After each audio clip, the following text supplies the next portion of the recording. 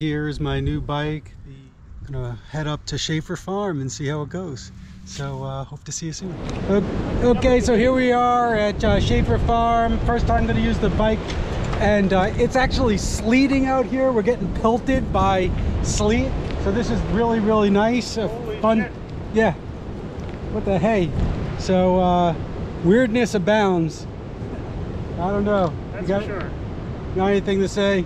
Uh, we got a good adventure cooked up here. We got uh, Alan's brand new bike, specialized. It's very sweet.